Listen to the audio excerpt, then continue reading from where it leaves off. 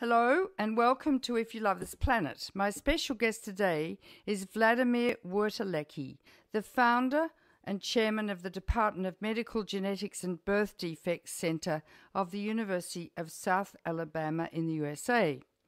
Prior to his training in medical genetics at Harvard University Medical School, he trained in pediatrics at St. Louis Children's Hospital, Washington University. Dr. Wertelecki is a diplomat of the American Board of Pediatrics and member of the Academy of Pediatrics, and since 1994, he has served as Secretary Treasurer of the World Alliance for the Prevention of Birth Defects. Dr. Wladimir Wertelecki, welcome to If You Love This Planet. Thank you very much. And I believe you and I trained at Children's Hospital Medical Center at Harvard, but we were not there at the same time. Is that correct? That is correct, yes. Yes.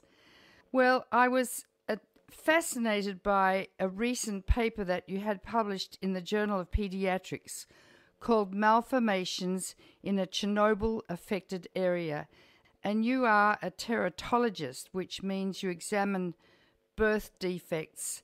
And very little is known or discussed about what is happening in the area around Chernobyl post accident. And if you would, would I would like you to explain to this audience what you are seeing in this area amongst the babies that are being born there since the accident. Well, congenital malformations uh, are many and uh, have many causes. And there are two ways to approach the question uh, whether there is a connection between Chernobyl and congenital malformations. the usual way is for measurements of how much radiation uh, is there and the other way is to measure the other extreme, and that is are there any consequences that could be due to radiation? The first approach of measuring radiation is expensive, and there are virtually no standards that are applicable to the unborn.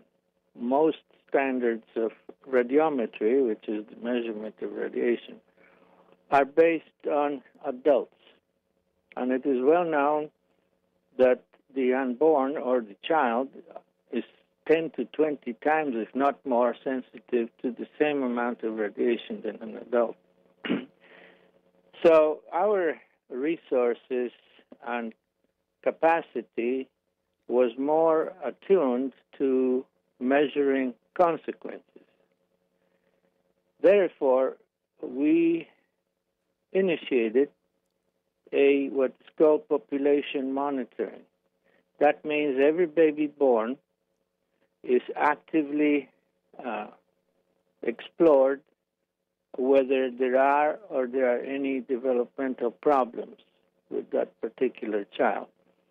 And since congenital malformations are many and they are relatively rare, our plan was to do so over a span of 10 years in order to be able to accumulate sufficient data.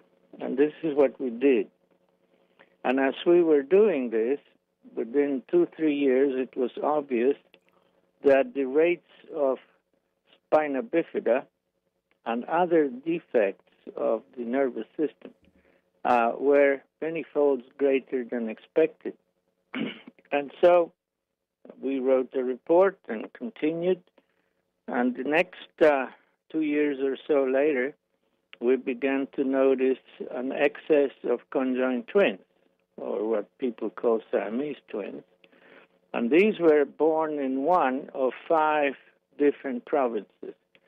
So that around this particular province, there are very few of such births, while all of them are occurring in this narrower area.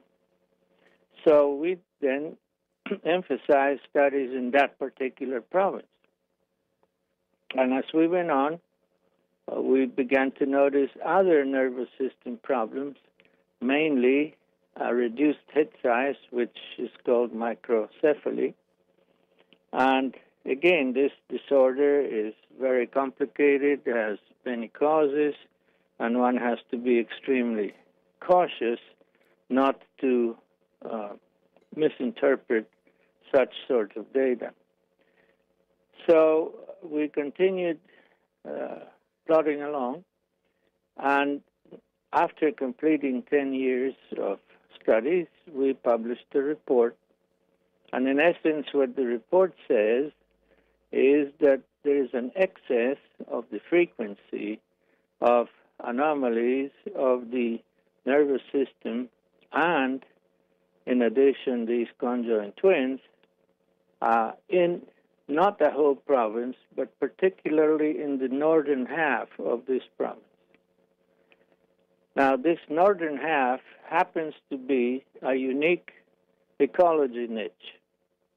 It is a region of swamps, of wetlands, of forests. And furthermore, they have this area has been the habitat of a unique population that Ukraine recognizes as distinct, as an ethnic uh, different group. And they have been there since recorded history, and they live in very small villages, very isolated, and relying completely on wild foods and locally produced foods, all of which are radioactive. The soils in that particular area of Ukraine are so different that plants absorb about 20 times as much radioactivity as the same plant growing, let's say, 50 miles away, uh, where the soils are richer in humus and other minerals. so, consequently, people living in this northern half are absorbing or what's called incorporating in their body much higher levels of radiation than, than let's say, people living somewhere else. So, this was one of the triggers to report these findings. Now, of course, these congenital anomalies of the nervous system can be due to other factors. For instance, uh, spina bifida can be due to folic acid deficiency or bad diets or lack of micronutrients. So it is very difficult and complicated and expensive to tease out specific causes on the basis of what's called a epidemiology study. What we have done is a descriptive epidemiology study. Now, this cannot prove cause. It only can prove a difference between point A and point B.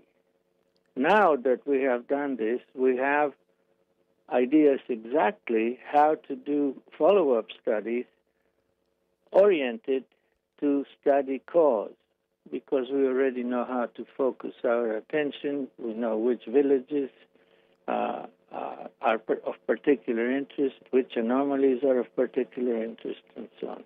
So that's a long answer, and I will elaborate as you as you uh, indicate. Well, the other cause, of course, of microcephaly, as you point out in your article in Pediatrics, Dr. Wertelecki, is alcoholism um, in the mother. Yes, well, we, you know, we established OmniNet in Ukraine, which is a consortium.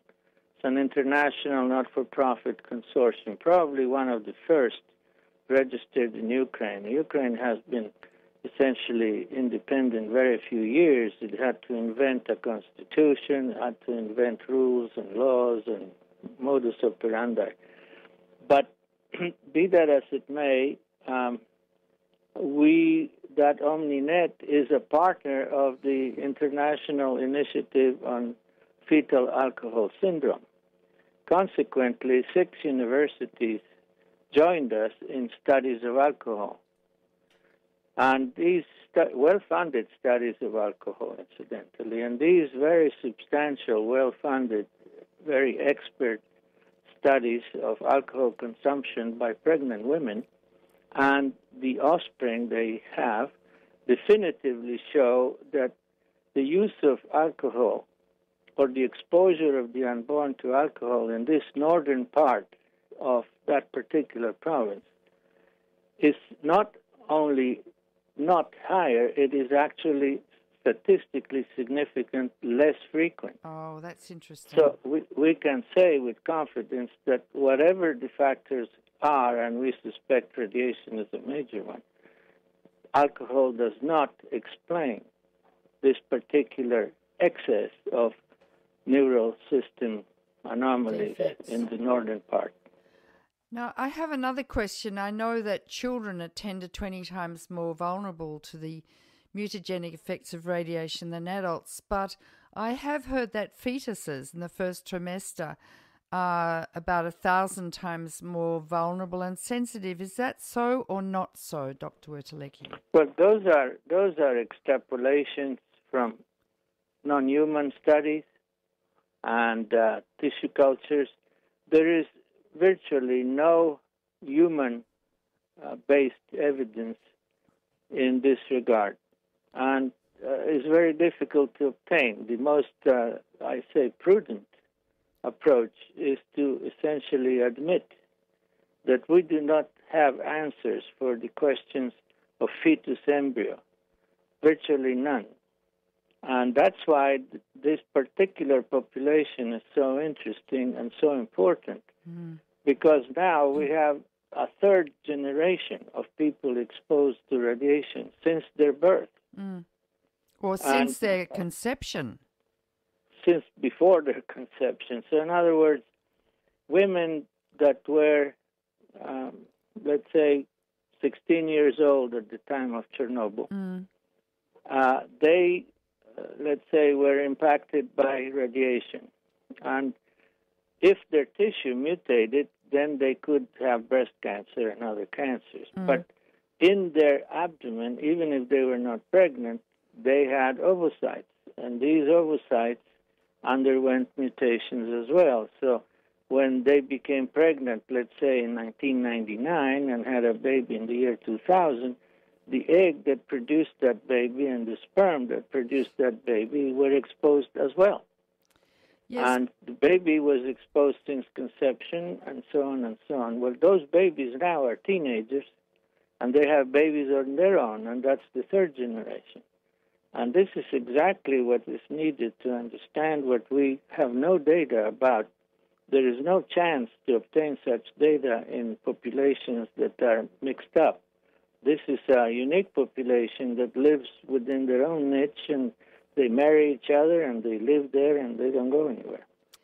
So, from my understanding, if the genes in the eggs and sperm are mutated, or the chromosomes are or are damaged, you will get trisomies like Down syndrome, or you will get genetic diseases which may be uh, dominant in the first generation, like achondroplasia, uh, achondroplastic dwarfs, or you will develop recessive mutations for cystic fibrosis and diabetes and many other such uh, genetic abnormalities which won't show up for generations. Whereas, on the other hand, I thought that what you are seeing here with the microcephaly, the conjoint twins, the teratomas, the spinal cord defects, and the like, that's teratogenesis. In other words, damage to a genetically, chromosomally normal embryo or morula or fetus. Um, Correct. So, therefore, there are two ways to look at this. Obviously, there will be genetic and chromosomal abnormalities passed on generation to generation because of damage to eggs and sperm. But what you're seeing specifically and describing in this paper, I thought, was actually teratogenesis or damage to a normal fetus. That's correct. Actually, you see, you're 100% correct. Radiation has three effects. One is like a burn. In other words, it's a direct physical impact. It raises temperatures, it, it makes, let's say, a cell bubble. The next impact is teratogenesis, and that is it impacts rapidly developing tissues as an external interference factor. And that's the most important one, and that's the one we have been studying.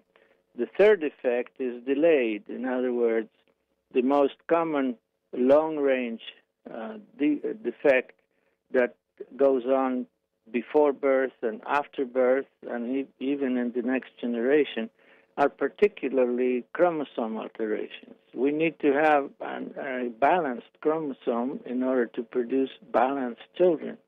And that's the major long term damage of radiation. If the chromosomes are in an egg or a sperm, you have a hereditary chromosome problem. Mm. If it is in a tissue, like the breast or, or the gut or whatever, you have a carcinoma of the breast or colon or whatever have you. So the whole spectrum is true. But what we have focused on are essentially teratogenic, that is, congenital malformations due to the interference of radiation with a normal development. Yes. So I'd like you to explain. I've, I've got a list of the abnormalities that you uh, describe in your paper. Uh, I'll Correct. just read them through conjoint twins, teratomas, microcephaly, neural t- tube defects, anophthalmia, microphthalmia, disruption of blastogenesis, encephaloceles, uh, ineocephaly, I don't know what that is, and anencephaly. Would you like Dr. Wertelecki to explain, please, to the audience, um, as we're two pediatricians talking together using our medical terminology, what these what these terminologies actually mean? Well, interference uh, by a teratogen or, a, or an agent that produces malformations varies uh, based on the time of its impact. So, when a child is conceived and, uh, and an egg is fertilized, for the first uh, 16 or so cell divisions, every the machine works only on the mother's genome or uses the genes of the mother. Uh, the cell divides and divides and divides and divides, but doesn't grow in size. It, it, the sperm has to unfold and contribute the other half of the genes coming from the father before it becomes a true parasite, before it can start feeding itself and increasing in volume at extraordinary speed. The, num- the universe from conception to birth in terms of cell division is infinitely larger than all the cell divisions from birth to death that follow. Mm. So, really, the development of an embryo is explosive. Mm. Now, there are two parts of the developmental sequence. One is before implantation, that is, before the egg reaches the uterus and is able to become essentially a cancerous like tumor. In other words, it it sticks into the wall, it begins to disintegrate the wall, makes it bleed, it begins to eat that blood, it develops its own circulation, and so on and so on. These malformations we're talking about are essentially before implantation. Oh, really? Before a woman, before a woman even knows she's pregnant. Oh. So, in other words, they are very early, and the first one, of course, is you lay, first of all, a line or an axis. This is going to be top or head, this is going to be tail or bottom, this is going to be right or left and front and back. And this is when you have one axis. Well, sometimes that axis splits and you get twins. Uh-huh. And we know that one out of 70 babies is a twin. Every twin that is monozygotic, meaning coming from one egg, is a malformation. It's an anomaly. Oh. Normally, we are not two. Normally, we are one. And sometimes the split is incomplete, so they remain stuck. And so that's what pagus means. Pagus means stuck in Greek. So they get stuck chest to chest or belly to belly or head to head. And they live what is called forever together, if they live. So that's what we get. The characteristic of these anomalies, if they survive, is they don't have mental retardation and many other things that are so common among other congenital malformed babies. If they survive, the brain will develop. because the potential of development of the rest of the organism remains intact. This is interference, not abnormal genes. So the genes of whatever else goes on are capable of normal development. You know, five fingers here, five there, both twins, and as you know, many Siamese twins are intelligent and articulate. Now, a little bit down the line, if you now have one axis and you want to be become a human being, this little flat plate, like a saucer, has to make a tube. Because everything in biology, we are all a bunch of tubes. So it begins to fold and has an opening on the top and one opening at the bottom, and this is the top of the tube will be the head, and the bottom two will be the end of the spinal cord, and all in between is that neural axis, head, and spine. If that tube does not close, you get opening. So on the top, you will miss the head, so that's called anencephaly. A little bit further down, doesn't close, it's like a zipper, doesn't zip. You will have a spina bifida or open spine. And then there are all kinds of technical terms to distinguish variabilities of these. Now, on the other hand, if you have the other side forward, if it doesn't close, your belly doesn't close, so the least is an umbilical hernia, very common around the umbilical cord. A bigger one is called omphalocele, or you know, an opening in the front omphalon is, is actually a belly button and so on. So you have what's called body wall defects. In fact, the non closure of the neural tube and the non closure of the belly or abdomen are correlated. That is, the risk of having both is far greater for those who have one or the other. Oh, fancy. Than somebody who would have only one or the other. So we have that too we have about uh, 15% of babies, if they have one, they have the other as well. Now, if you have that non closure a little bit higher, the heart, the heart is outside of the chest. And it will be beating uh, unprotected. And some babies, perfectly normal, intelligent babies going to school, happen to have this very serious congenital malformation of an open chest with the heart palpating there. So we know that the brain is spared, so the genes are normal because you cannot have a normal brain and a normal intelligence unless virtually all your genes are working. Mm. The machinery of the brain is so complicated that if you have a genetic imbalance, your chances to have normal intelligence are close to nil. So you can almost say that babies with serious congenital malformations who have normal intelligence are not due to genetic mutations. For example, spina bifida. You have a lot of intelligent people in, in wheelchairs, paralyzed, that there is nothing wrong with their intellect. And to postulate that these anomalies are due to genes is silly. But they are due to something. Um, except that your postulate that they've got normal genes, I don't quite understand because children with cystic fibrosis have two abnormal genes and they've got normal intelligence, or children with diabetes, or children with. But those are not teratogenic. No, they're not teratogenic. Yes, yes. Well, would now, you... there are genes that cause malformations, of course. Mm. Cleft lip palate is an example. Okay. So we know that cleft lip and palate is more common in families. We know it's more common in certain ethnic groups. But we also know there are drugs that cause cleft lip and palate mm. and so on. So life is not uh, one explanation fit all. Yeah. Nor one anomaly has one explanation.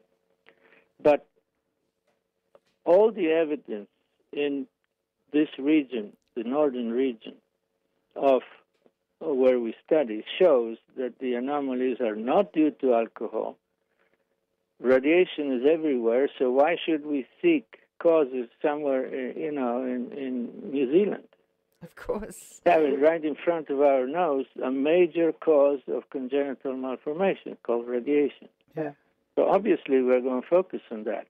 And the way you do this is, for instance, we measure head size. Every baby born has a head measurement. This is routine medicine. And the head measurement should be within standards. And we find that in some areas it's below standards. So these are called subclinical impacts. Those babies have not microcephaly or cephaly because those heads are not that small, but they are smaller. And similar effects have been noticed in Sweden and in Norway, in, in the only in the areas impacted by Chernobyl about Mm. 20 years ago. And their So- IQs are lower. Exactly. So, you know, microcephaly is an anomaly late. It's, uh, it's far further down the development uh, time timeline, and that's why if you impact the brain, you impact the intelligence. Would but you you, like have to, to have a brain. Mhm. Yes. Would you like to describe what a teratoma is, what a microphthalmia is, and anophthalmia to the audience, please? Okay, sure, sure. Well, the brain is a is as I said. First, there is a tube, and then the tube closes. It becomes a balloon uh, with a communication going downward toward the spine. So this balloon, uh, you know, then splits into two balloons, and we have the right brain and the left brain. Now, from that balloon pushes out, or there is a second balloon that comes out, and that's the eye. The eye really is an extension of the brain. That's why the retina, the, the, the visual aspect of the eye, uh, is nervous tissue. Now, if you have microcephaly, you are more likely to have microphthalmia. Those two are very often uh, a package. So you have to study both at the same time, and we see uh, statistically significant higher rates of both, of microphthalmia and microcephaly. But those are later teratogenic effects than, let's say, uh, the conjoined twins. Now, the other anomaly, teratoma, we have to backtrack to that axis. If you have an axis and you make two, you have twins. If they don't separate, you have conjoined twins. But if they don't separate and one becomes degenerate, incorporated, altered, he begins to look like a lump. And instead of dying, he is parasitizing uh, the normal organism. And so these children are born with a tumor. We call it a tumor, which is nothing but a lump. And in that lump, there is every tissue of of the human organism. You find teeth and hair and fingers or whatever have you, but it's completely deranged. And those are called teratomas or or, or monster-like uh, non uh, or monster-like things that didn't become. Uh, they, they don't look like a human. Okay, that's what a teratoma is and they are usually located in the sacrum area, lumbosacral area, or the coccyx, and so on and so on. So obviously, that is of interest to us because it may be a package. You have twins on one side, conjoined twins, and then uh, a, a, different degree of the same thing called teratoma. Mm. So now, you've produced this paper. There's statistical evidence that the food is very radioactive in this area, and in fact, you say that one mushroom eaten in the affected area may deliver as much radiation as hundreds of chest x rays. Or more. Uh, well, one, one mushroom has as much radioactivity as, let's say, four or five pounds of wood. Uh, different organisms, different trees, uh, different nutrients are different products. They are products of life. And each plant does its own way uh, different things. And so uh, each plant incorporates radiation differently. That's first point. Secondly, radiation is not even important in this thing. The important thing is what sort of carrier of the radiation are you dealing with? For instance, all the standards in Fukushima or in Chernobyl are based on cesium. Cesium is a lookalike to salt, to sodium. So therefore, a plant is fooled into thinking that it's absorbing sodium when in reality it's absorbing cesium. So the less salt, the more cesium. In other words, the plant doesn't know the difference. It's a matter of proportions. And once it is in, it distributes uh, like I'm sorry, I misspoke. It's not cesium; it's potassium. Yes, I so, thought so. yes. Right. So the the point is that in the embryo, it's not going to concentrate in any particular tissue. You know, potassium is everywhere, and potassium half life in an organism is different than, let's say, uh, uh, chrome or whatever have you. So the biologic half life inside of the body. What comes in gets out in about eight months. That they say. But on the other hand, you can you can integrate uh, the molecule into a structure, let's say like a chromosome, and the chromosome is stable. So once in the chromosome, you go nowhere. You're captive. Now the problem is that in addition, although officially it is stated that cesium is the way to go. Uh, we uh, were a little bit skeptical about that, so we decided to measure strontium. We were told there is no strontium, we are wasting money, this is very expensive, it's a complicated test. Nonetheless, we found that there is plenty of strontium. And strontium looks like to the organism as calcium. And as we know, teeth and bones and all that bind calcium because without it you don't have the necessary stiffness in certain parts of the organism. So obviously we have not seen official measures of this particular form of radioactivity. Radioactivity is radioactivity, is energy, something that vibrates. But who is vibrating makes a difference if the vibrator is a calcium like, it's going to get into your skeleton and you won't keep it forever. So the effects or the teratogenic effects of cesium against strontium, although the radiation may be exactly the same, it is concentrated in different areas of the body and therefore the diapason or the, or, or the range of anomalies you're going to see with one form of radioactivity and another form of radioactivity may be completely different. And this is why radiation dosimetry is a little bit silly. It's dosimetry of what poison, mm. you see. Mm. So, you know, everything is reduced to such simplicity that it no longer makes sense to me. Mm. And yet, we need to show something that black and white that cannot be disputed. Anybody can dispute measurements of radiation. You can always introduce doubt.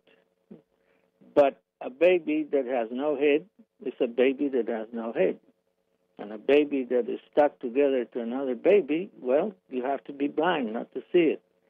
So, what we concentrate on are facts, on visible, indisputable facts.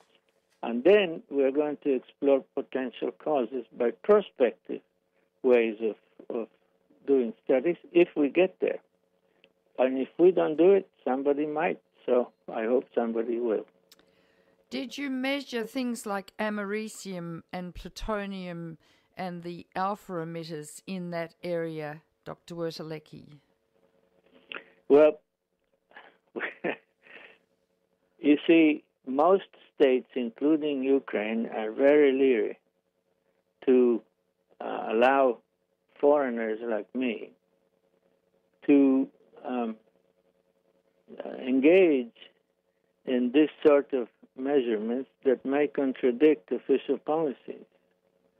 And to do these measurements, uh, it is politic to do them in the country rather than do them in a export way like many people do. Uh, we have to be good citizens there because everybody who does the work does it and works and is a part of official uh, health teams that essentially have no business in the radiation uh, area. To measure these uh, forms of energy is very, very technically challenging. And in Ukraine, the technology is concentrated in one sole institute in Kiev. And to measure this sort of thing, they have, you know, in transit they change and so on. So it's a major do. We are going to measure only what is essential to measure. And at this point, I think strontium is the number one candidate. Mm. Plutonium was not a likely, uh, let's say, carrier of radioactivity in those areas, but it wouldn't hurt to know for sure. Yes. Uh, strontium is something that the United States measured consistently uh, in order to uh, determine the impact of open air atomic bomb testing. So every time they had a, an explosion in Nevada, the wind would carry that toward the east coast, toward New York, and so on. So they were measuring not cesium, they were measuring strontium. And this was one of the reasons why I said, well, why why aren't we measuring strontium? We did it for so many years. We measured it in milk and so on. But strontium is difficult to measure. It sort of requires some cooking and extractions and, and totally more complicated way. And cesium is practical. You just have a an energy counter and, and push a button and read what how many beeps you get from the energy, and that's it. Uh, and for strontium, it's much more expensive. You have to have reagents. You have to have very special equipment and so on. So you have to be economic to how far you go. I see. So, from the data that you have um, uh, compiled, could you extrapolate to the situation in Fukushima and prognosticate what might happen there, Dr. Wertelecki? Well, no, I couldn't, uh, but except just like you, uh, I read what people report. I have no personal involvement of any sort. I I did give lectures in Tokyo and uh, Kyoto recently, and I met people from a variety of universities that attended these events. Uh, my sense is that the path followed in Japan closely resembles the path that evolved uh, after Chernobyl. And there are more regrettables than non regrettables in, in, that path. It seems like, uh, uh, like, frankly, it's difficult to understand what's going on and what's not going on. From my point of view, the priority, absolute priority, are women of reproductive age. Because whatever befalls them will befall their children. And that's the prime principle of prevention. A healthy mother will have a healthy baby. Uh, they have no registry of pregnant women, as far as I know. They could have obtained that at the time of the accident, uh, but I, as far as I know, even today, there is very little emphasis on these aspects. Everything is concentrated on cancer risk and on adults children for some reason, except for the thyroid, uh, because of this, let's say, scandalous epidemic of thyroid cancer in Ukraine, which is could have been prevented to a very large extent. Uh, that's the only uh, child-oriented emphasis. The rest is all on cancer of adults.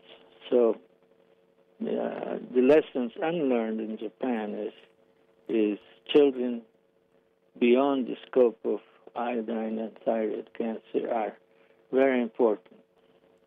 Of course, so are the genes in the sperm and men's testicles. uh, you know, when they're young and before they've reached adolescence and after adolescence. And I think often we ignore that as well, do we not?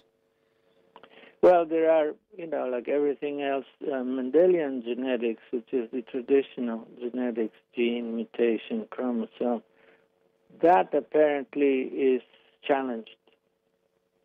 Radiation, according to the new uh, pioneers, um, is a source of what's called hereditary genomic instability. Mm-hmm. And that is a very disquieting proposition. What it implies is that you can destabilize the genome independently of the DNA. And if you destabilize the genome, the consequences are entirely unpredictable. Genes have predictable, you know, outcomes. But unstable genes at any time, anywhere, anyhow, and uh, you can't predict what the end product will be. So, therefore, you see, looking just at one mutation, cystic fibrosis or achondroplasia, is not the current concern. The current concern is instability. And if you have instability, you cannot become a baby or you cannot stay away from cancer. Can you explain that ge- genetic, hereditary genetic instability in more detail, please, so people can understand what you're talking about, Dr. Wertelecki? Well, I don't think people can understand because the scientists don't understand.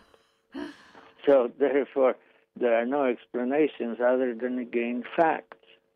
This unexplained facts no theory to explain them, no, no, no, no basis. Well, what to, are the facts? What are the facts that they're saying? Well, the facts are this: that that if you have genomic instability, a cell does not make a like cell. It will make something more or less like, but not exactly the same.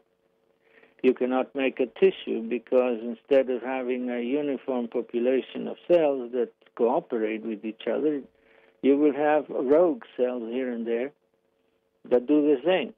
So instead of an organism, you have a disorganism, or a disorganized tissue, or a disorganized uh, organ. And so this kind of disorganization, which in a way is our aging process and, and our cancer process and so on, has um, unpredictable consequences. Now, the evidence for that is entirely uh, from non human uh, source. And uh, uh, of course, our serious uh, instability we'd never hear of is the sperm that never fertilizes, is the egg who never becomes cert, uh, fertilized, is the fertilized egg who never implants, or is the implant who never grows. So, in other words, the attrition, what is called terathanasia, and that is the, the, the death before birth, uh, sweeps this away. And what you end up having is perhaps perceptible or perhaps not reduction of reproductive fitness. In terms of the born, genomic instability will create sterility or infertility it, because we need to produce a very complicated thing called the sperm. The uh, or instability in the sense that you will have a change of rates of let's say, degenerative diseases like arthritis or this or that or the other. So this is a this is a very important emerging issue to know how to measure genomic instability, and they're doing a great job in in approaching this question uh, through the study of cells in vitro, in other words, in, outside of the organism. Mm.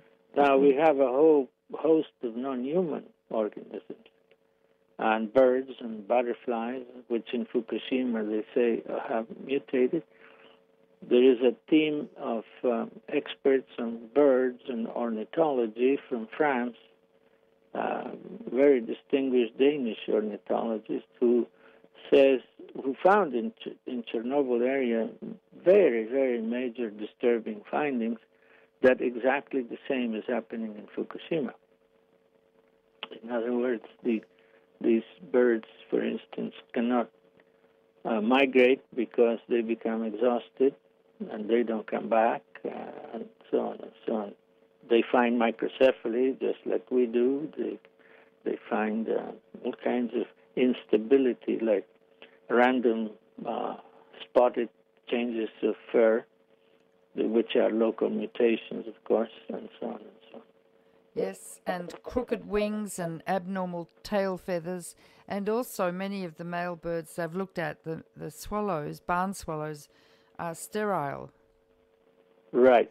Well, you see, that's a chapter of what's called planar uh, embryology or planar development. Plan it's like the scale of a snake. They, you can pass your hand along one way and not lift those scales, and then the opposite way they are all going to stand up. The same with the hair. You can pet pet an animal along the slant of the hair or against it. That is a program, and this planar way gets disturbed. So you have whorls in the wrong place, like some children with microcephaly will have whorls in the wrong spot. And there'll be a whorl in the middle of the head or on the side, and we're accustomed to see only one in the upper posterior top of the head and so on. So there are all kinds of indicators of, of instability, among others, asymmetry. In other words, left and right are not identical twins, but they're very uh, asymmetric, and so on and so on. It's a, it's a there are many ways to look at, at these questions, but uh, only a limited lifespan and, and, resources. And what about uh, the disproportion when a, a, population is irradiated? There are fewer females born than predicted. Normally, many more females are born than males in the human population, but in an irradiated population, that proportion changes. Is that true? Well, of course. Uh, well, uh, I don't know if it's true.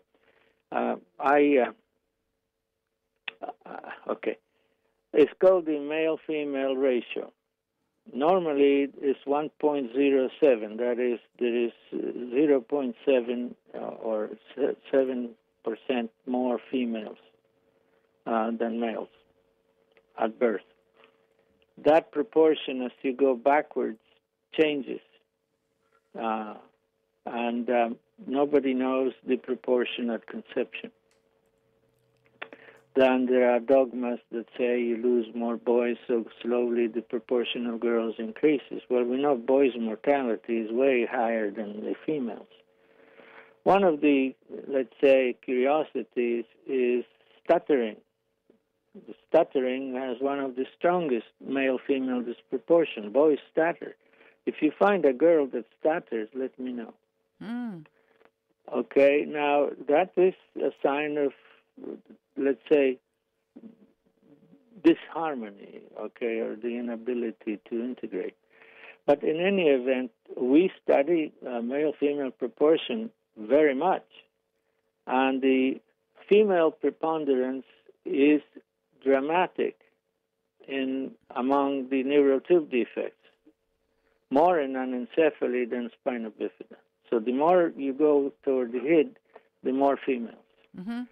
Which may mean more males disappeared. Mm. Second, we have more females with microcephaly.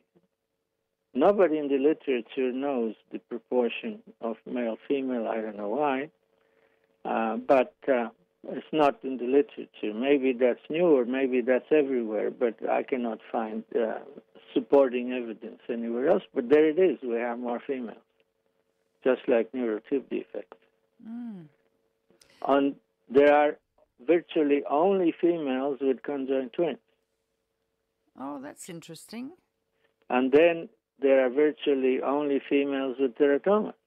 That's interesting too. Right. So we have an independent track saying these things have something in common. And one of those things in common is female prevalence.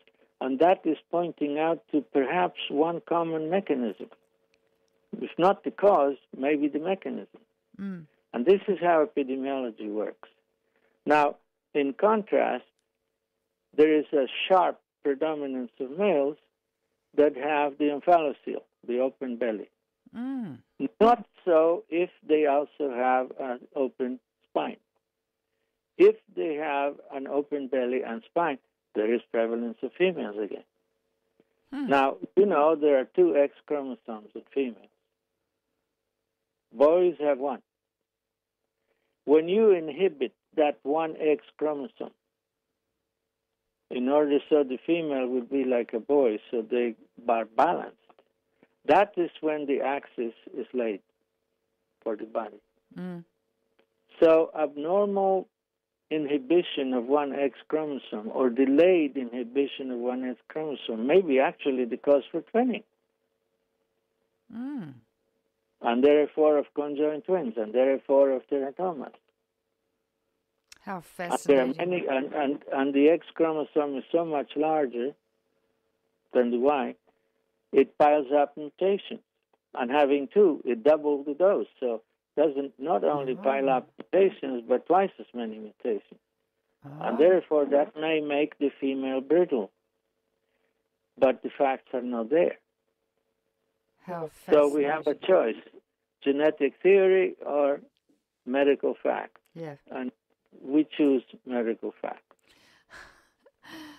This has been absolutely fascinating, and it takes me back to my first year in medical school in 1956 when we had uh, an embryology lecture called um, Dudley Packer. We used to call him Cuddly Dudley, and he used to lean on the blackboard and draw the embryo and the divisions and the neural tubes and etc. etc.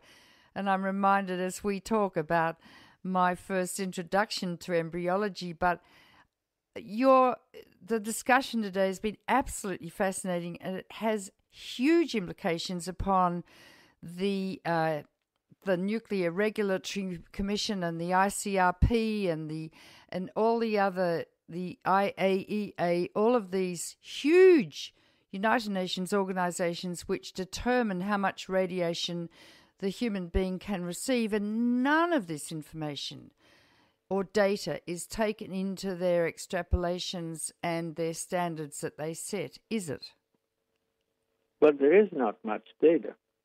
You see, one of the nice things is to be able to say, well, uh, here is somebody did this, that, or the other. And it is very difficult to say nicely and convincingly, nobody did that. Mm. And it's obvious that it should have been done. Yeah. We started doing this in the year 2000. The accident of, of Chernobyl was in eight- 1986. Yeah. It's 14 years later. Mm. You know, things ought to start before the accident. Yes. So, congenital malformation monitoring is a security blanket for all societies. Mm. For instance, we had here the the BP disaster. It's a horrible disaster. But the most common source of radiation in society is not uh, the pollution of nuclear power plants. It is coal burning power plants. We, when we dig up Mother Earth and dig up her entrails and bring it up to the surface, we don't bring coal, we bring everything else with it mercury, mainly, and radioactivity. When the power plant ends up burning that coal, not only does it pollute the air, but the and with mercury included, but also there is radioactivity in it. And one of the most radioactive dumping wastes is that ash. Well, oil is the same thing. There is no oil without some mercury and some radioactivity. So we had enormous quantities of oil spilled up that is picked up by organisms and recycled and concentrated, and each one who eats one, the eats one, eats one, eats one, and each one that eats concentrates more and more and more and more until the pregnant woman decides to have a good dinner on some kind of a marine product. Yes. So, if we are interested, if BP has consequences to the unborn, and we don't have a congenital malformation system in place, we don't have a baseline. Mm. So we don't know if what we see today is 10 times bigger or not changed or even less. We have no idea where we sit at. We have no reference point. Mm, because we're not. And each standing- society has birth certificates. And why not to make out of the birth certificate something valuable? Because right now it's worthless. Well, Dr. Wertelecki, we've reached the end of our time. You're a pioneer in medicine, and I so much appreciate the interview today. And I hope the audience take it all in and digest it and understand what you've been saying from a medical. We'll tell the audience to send me a line. Yes. Okay. My guest today on If You Love This Planet was Wladimir Wertelecki, the founder and chairman of the Department of Medical Genetics and Birth Defects Center at the University of South Alabama in the US, and Secretary Treasurer of the World Alliance for the Prevention of Birth Defects. I thank you so much for listening today. Look, I know it was a little complicated, but I want you to listen and listen again. Take in these facts, absorb them, digest them, understand what we were saying as doctors so that you will understand what radiation, um, nuclear power, and all the rest means to us and future generations. You can go to the website if you love this planet.org and download this um, program if you've just caught it on the radio and listen again and get all your friends to listen. Um, if you'd like to contribute to the programs, we'd be very grateful. There's a donate button on the website. And we'll be back with you again next week for another wonderful program. Bye for now.